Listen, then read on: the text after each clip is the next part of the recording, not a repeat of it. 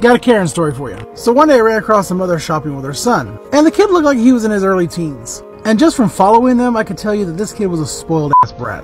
He was whining and crying and wanting this and wanting that and just throwing a big ass fit all over the damn store. And the mother kept telling him that he couldn't get the things he wanted. So the little entitled brat decided he was going to start stealing it. He opens two of these little WWE action figures and puts them in his pocket. So I continue to follow mom and son, and mama has no clue that her son just did this. So she goes to the checkouts and pays for everything, minus the two action figures, and goes to walk out our doors. I approached the mother and was just going to let her know that her son stole something and was going to get it back. But the moment I accuse her son of stealing, she freaks out on me, saying that her baby boy would never steal a thing. I finally get her and her crotch goblin in the office, and he's sitting over here just smiling, will not give up the stuff, and says he didn't steal a thing. Mama gets up in my face and says, I should just kill you.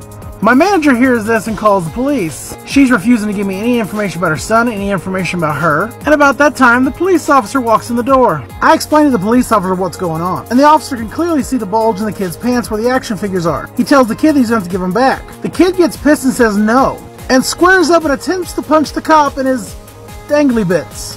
He misses and hits his inner thigh. Then the kid reaches for the cop's waistband. And I'm not sure if you guys are aware of this or not, but police officers don't like you reaching for their waistband. They're very protective of things that are on their belt. Now, it's kind of ironic that the kid stole WWE action figures, because this officer did some kind of pro wrestling move and put this kid straight on his face and handcuffs him. The mother is losing her shit. During all this commotion, a second officer entered the office. The mother sees her son down here screaming and wailing and goes up to the police officer starts hitting the police officer. The second police officer gets involved, and well, mama and son got three hots in a cot.